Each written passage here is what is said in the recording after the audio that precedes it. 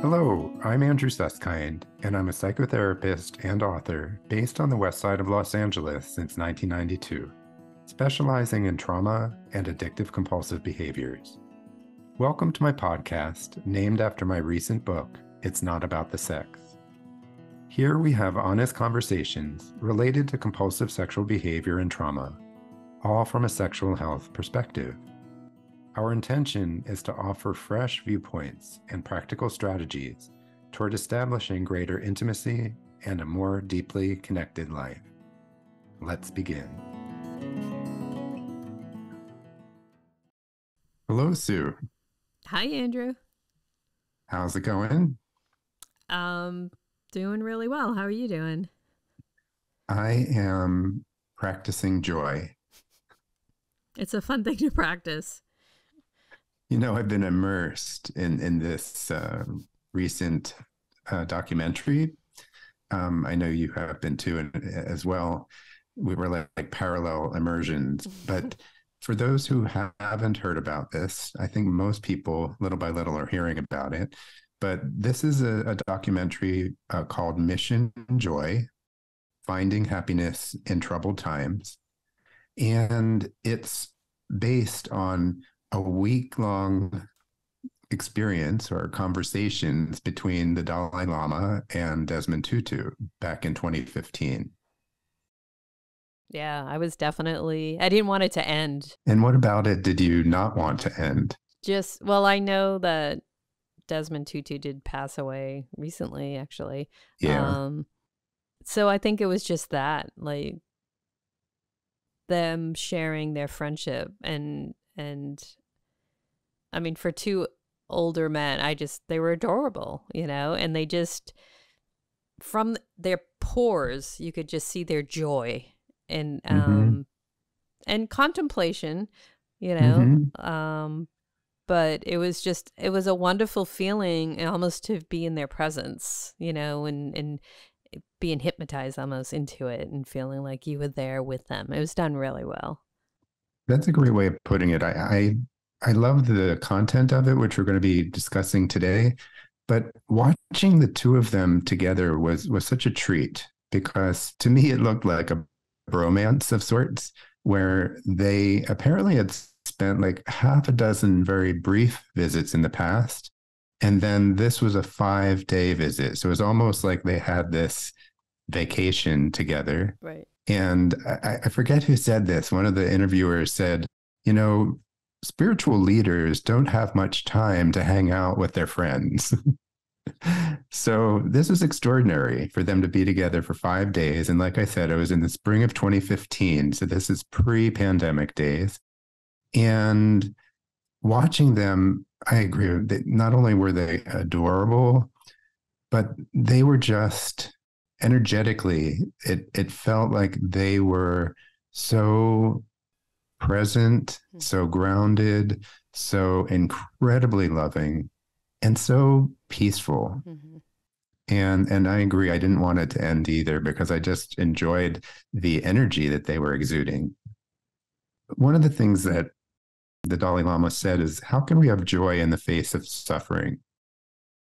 And I thought that was a big question. I'm not sure whether it came from Dalai Lama or whether it was the interviewer. And then he said, suffering is an ingredient for developing compassion.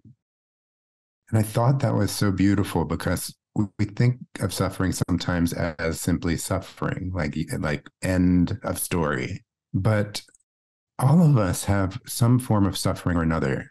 It's universal.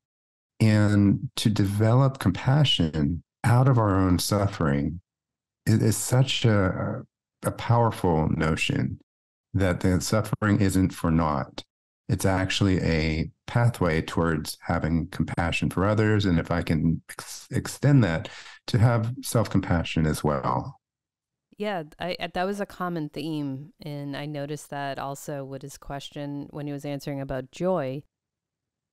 How, how do you find joy? And it was again an external thing. Like you find joy, it's a reward for giving joy to someone else. It's that connection piece, which is so mm-hmm. big in addiction. For sure. And I'm so glad you brought in the word addiction because I was looking at everything they were saying in the documentary through the lens of addiction and trauma recovery. And so everything they shared can be applied universally, but it can absolutely be shared with addiction and trauma healing. And um, I just want to go back to what you said because uh, Desmond Tutu said that joy is actually the reward, that giving joy to others is basically what life is about. And and then he he said this which i thought was very touching we wipe the tears from the eyes of another.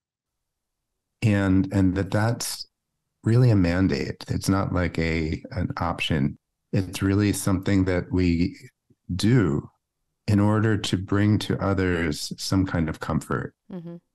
right so i'm wondering sue if we can go back because i could talk all night about these um, various um, themes. Mm-hmm. But can you talk a little bit about the two men, Desmond Tutu and the Dalai Lama? Sure. So, well, we De- Desmond Tutu came from poverty.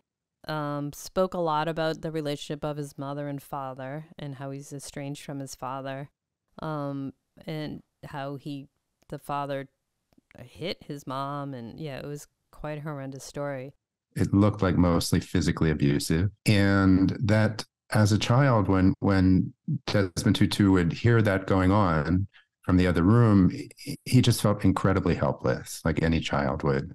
And one thing that is so outstanding about his life is that he went through that intense childhood trauma and somehow and i don't know exactly how that healing came forth but he transcended it by his determination for really being a, a leader around not only spiritual leader, but a leader of freedom.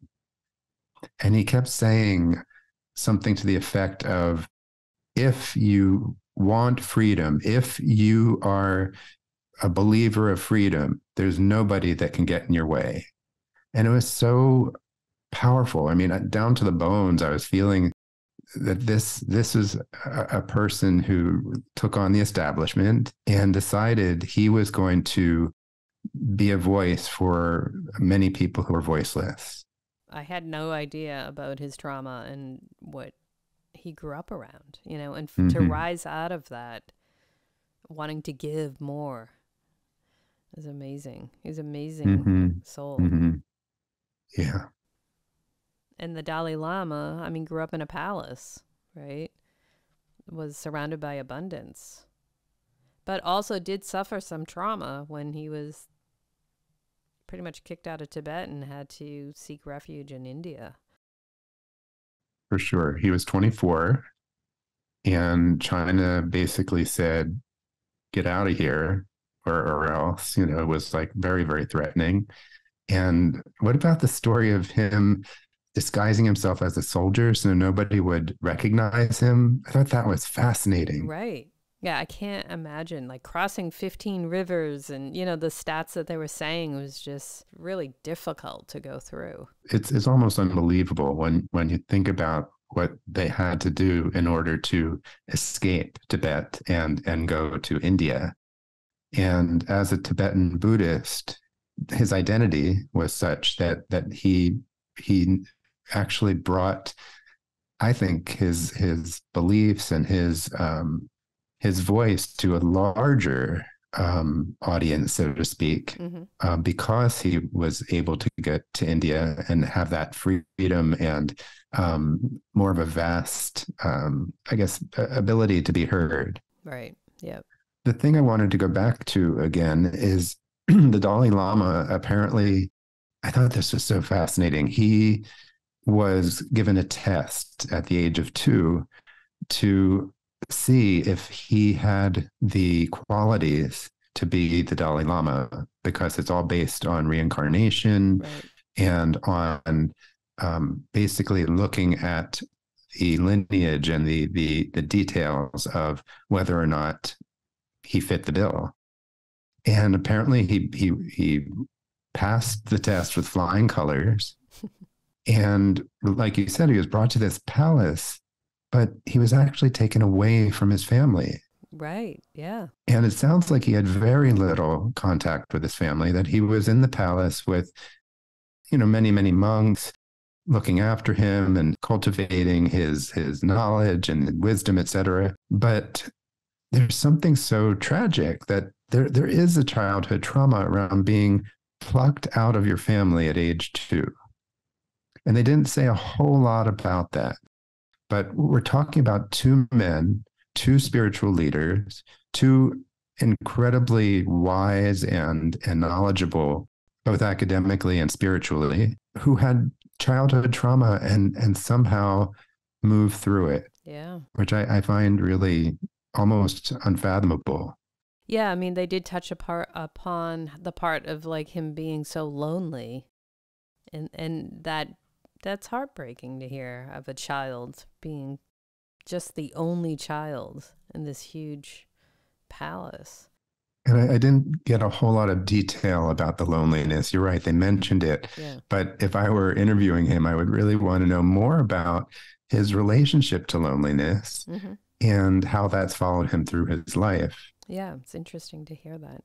Yeah. So the next time he allows a, an interview with me, I'll be sure to ask him that question. Yeah, let me know when that happens. I'll help you out with your audio. Perfect.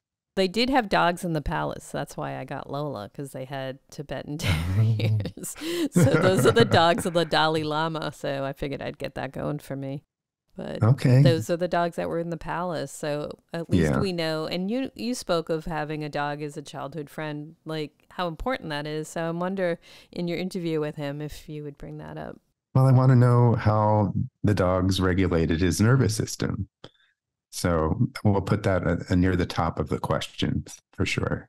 Yeah. I mean, like you said, having childhood trauma and and yeah. turning out to be what they are and what they present and giving so much back and having had that experience i wonder how they did work through it because they didn't really talk sure. about it so one of the things i wanted to come back to is just how they presented with one another because the visual is that they sat in chairs very very close to each other and they touched a lot. They they held hands. There were moments in in the documentary where they embraced and and kissed on the cheek. Um, it was so affectionate, and and there was so much joking and teasing and laughing and smiling and loving and touching it, it really was like a bromance. Yeah. I mean, don't you think? Yeah, certainly. And the hand touching yeah. just, it felt like the Dalai Lama was looking for that human connection, that human touch, and that they just, you could see they just loved each other like brothers. Yeah. Like, yeah, just could, they just got each, their energy must have just been just totally connected and, yeah, and it, I felt that through the movie also, but yeah, they it was comfortable. It wasn't like awkward, you know. They just were so super comfortable in each other's presence. Like it was like they were hungry for it almost. That's the perfect word. I think they were hungry for it, and I think there is nourishment for each other in a way that they're not used to. Actually, right. They can't and break that barrier with anyone else, but it was okay. Exactly, it was okay. That's right, and I, I, wish I knew Desmond Tutu's daughter's name, but she was great because every time she spoke, she was like narrating what what goes on between them. And one of the things she said about the two of them is that it's like watching mischievous spiritual brothers. That's perfect. Yeah. Mischievous spiritual brothers. And and I think that was perfectly said because that that's kind of how it appeared. And they were just having fun. They were like two boys and they were playing and they were enjoying each other and at the same time they were the Dalai Lama and Desmond Tutu. Yeah. So so we got to see the the adult in the here and now and the playful kid as well, which was just so so fun to see. Let's just shift a little bit to some of the themes because I think it's so important to talk about the texture of what they shared. Mm-hmm. So the themes of their conversation really revolved around joy and compassion, kindness, and gratitude. And there might be more to it than that, but those are the main themes that I, I picked out of it. And the, the Dalai Lama said that his really purpose, what gives him meaning, is, is how can I help to spread compassion and love? That's his life direction. How can I help to spread compassion and love? And isn't that something, Sue, that, that we all aspire to? But so. sometimes in the busyness of our lives, we we sometimes get distracted, or somehow it gets buried or or or backburnered. Yeah, for sure. And I think ultimately, I always say love prevails, and and it comes down to the love that we have for each other as being humans. And that was a quote I picked up from this was um, at the foundational level we're all every human is exactly the same and mm. we're vulnerable to pain to fear to unhappiness and we aspire to be happy to to seek connection to find meaning to find love and it, it doesn't matter where you come from and who you are it's mm-hmm. it's the human connectedness mm-hmm. and and that's so wonderful to think about you know that yeah we're all, all under all the like you said the stuff that day-to-day stuff you know my car broke mm-hmm. down blah, blah, blah, right. blah, blah. but it's really the love i don't know um do you have a minute i want to share a story a little oh, story please our neighbors just rescued a family from afghanistan and it mm. it it took them 18 months they are so happy to be here. You know, they just knew that they needed to get out of Afghanistan and, and all their everything got stolen. They have nothing right now. Mm. But our neighbors went to the Mexican border and was able to get them and and bring them here. Wow. He's like, I feel so much love from all of you and I'm so thankful that I am here and that and you are all here and they don't want anything else other than that and and how it illustrates what we're talking about today. You know, one of the phrases that I wrote down is that suffering is what makes you appreciate joy. Right? So these folks from Afghanistan have suffered in ways we can't even imagine. And and now it it it helps them appreciate joy actually in ways that might be more in technicolor than than we could possibly describe because it's it's it's it's so extreme. So extreme. It's extreme. Yeah, yeah. but to see them so happy and radiant yeah. and shining and they it's like they have no cares in the world right now because they're feeling yeah, that joy. They are totally bliss. Yeah. So, one of the questions that kind of goes along with this is how can people cultivate joy how can you and I, Sue, cultivate joy as a way of being, not just a feeling, right? As a way of being, which I mm-hmm. translate into almost a lifestyle. Like, how can we integrate joy into our daily experiences? And I think it was Desmond Tutu. I can't remember. Sometimes I, I, I got confused who said what, mm-hmm. but basically they both said joy is about satisfaction and meaningful life. Mm-hmm. Joy is about satisfaction and a meaningful life. And I thought that was so simple, but so profound, right? Because right. how many times are we dissatisfied with things? How many times are we complaining about this, that, and the other thing? And and how many times are we not sure what really gives our life meaning? And it's not easy. I think meaning or purpose is is a life a life journey that what that unfolds over time and it's different now than it might be in the future but there's something about satisfaction and, and meaning that i thought was really powerful and and then they went on to say that the key to joy or one of the keys to joy is to live from your own natural compassion mm-hmm. So what i what i heard was that we have to tap into our own natural right. compassion in order for us to live in joy. Interesting. Right. Getting through those layers and getting down to your natural compassion. That's, yeah, something to think about for sure. Yeah, and that's interesting because the layers are oftentimes like pollution, like emotional pollution. That all the stuff that that gets you know like um, stuck on the top, but underneath, we all have natural compassion. And again and again and again, they were saying that compassion for others is is really where it really brings us to a, a place of joy. And what I heard in recovery terms or 12 step terms is how can we be of service more frequently? Right. And how can we be of service with compassion? So again, joyfulness is, is really about helping others. When you surround yourself with healers, like I, all day, I'm, I'm, you know, in this where I work, people helping other people all day. That's what they're all doing. And it's an amazing energy in that space. Of course. And I think what Dalai Lama and Desmond Tutu really embody is being able to be compassionate for others in an egoless way, right? They're not doing it for themselves. They're not doing it to get anything at all. They're just freely giving of themselves. And I thought that was really palpable. No, and they're humbled by that, even, yeah, when each other brings that up. Yeah. So, what about the thing about pursuing happiness? Can you say something about that, Sue? Well, I mean, a lot of times we're we're inundated with like buy this, get this, you need this, this will, you know, and and what people get tied up in is the pursuit of that, right? Looking for material things.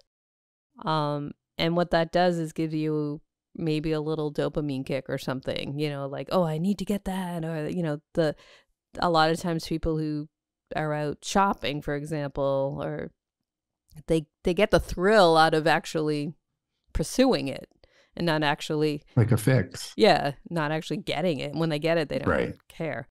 Well, the thing that struck me is that it's in our constitution, the pursuit of happiness. Right, it is.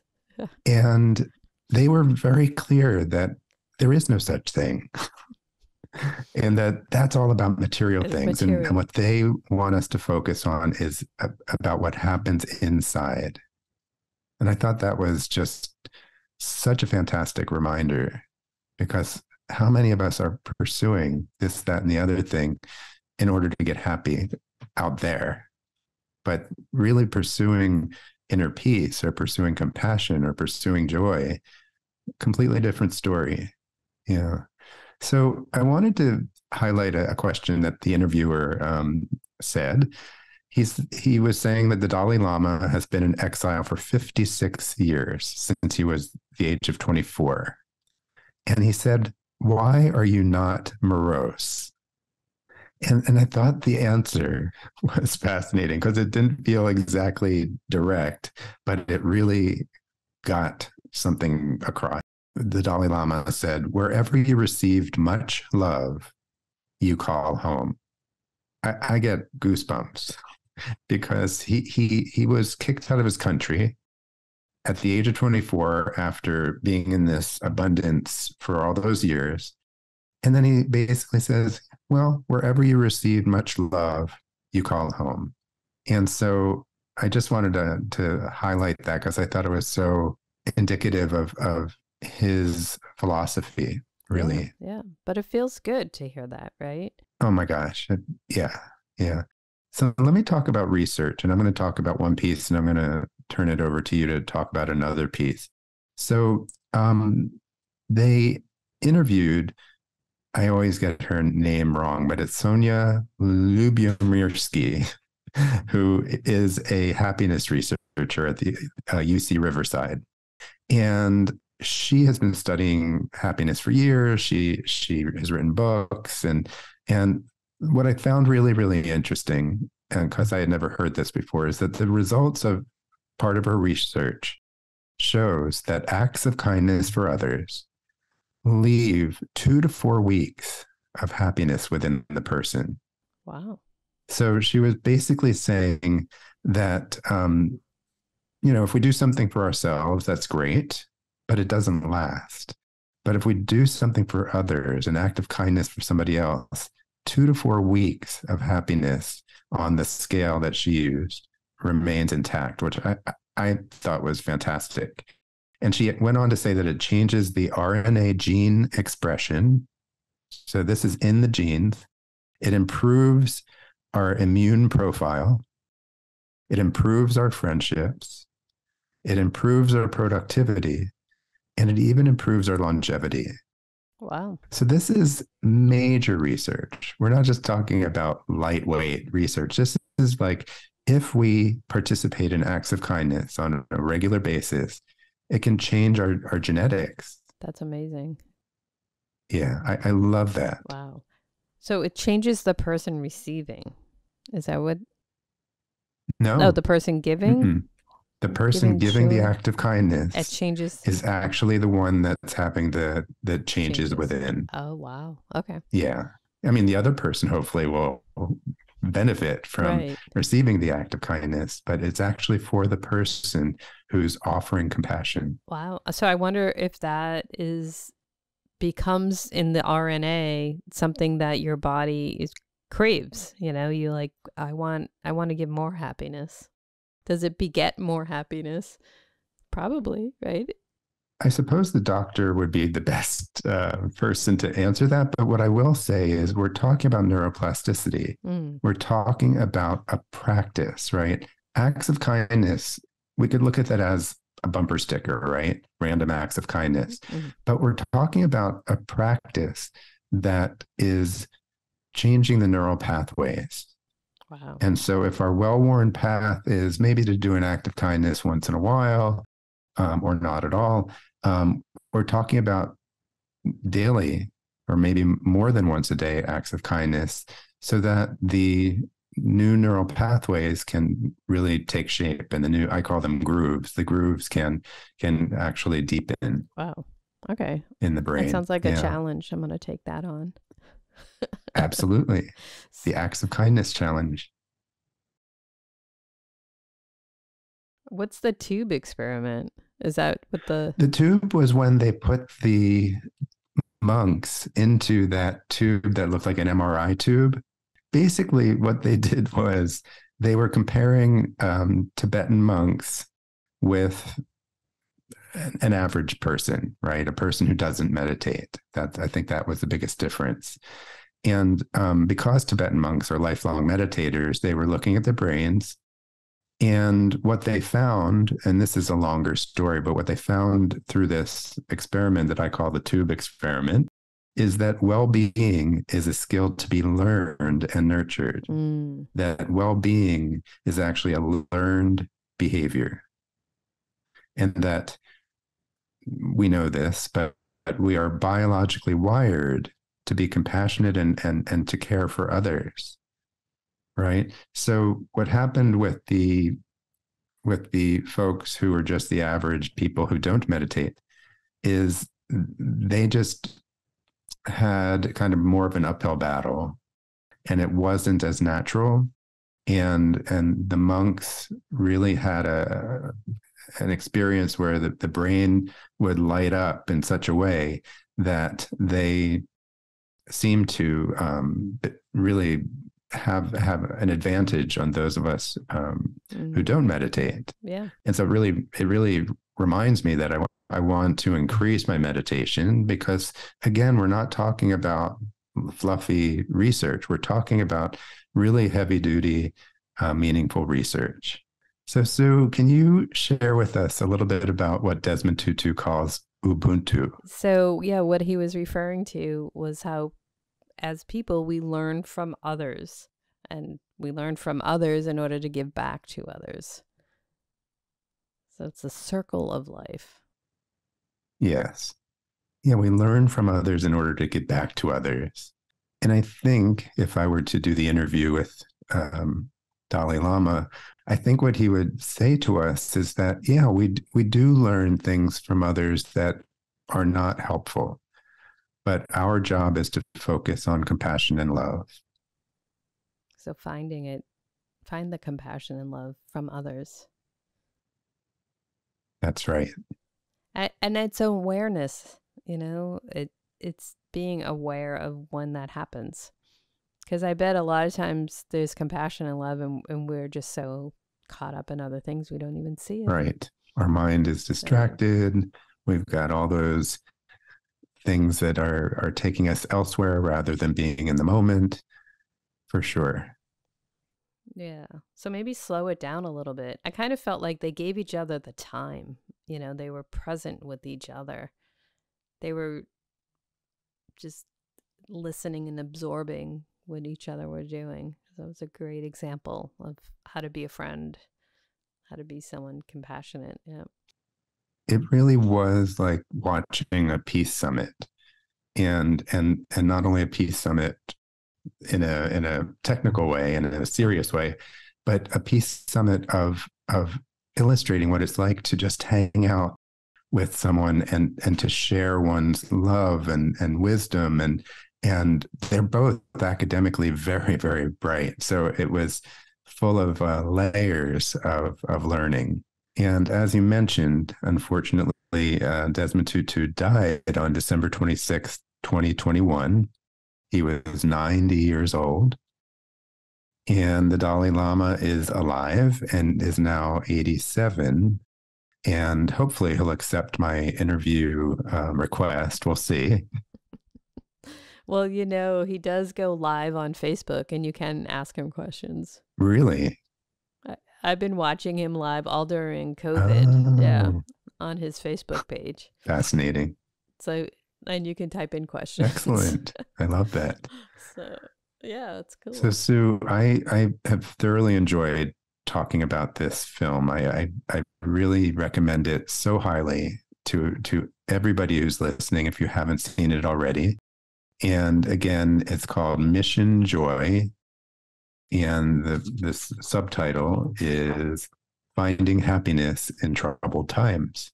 And it's actually inspired by a, a book, The Book of Joy. I haven't seen the book itself, but definitely catch the documentary if you can. Thanks for listening today. It was wonderful, as always, sharing the time with my colleague and friend, Sue Merlino, and discussing this really significant film if you're so inclined, please give us a five star rating and be sure to subscribe and share my podcast with those who may benefit. I look forward to you joining us the next time, and don't forget to stay connected.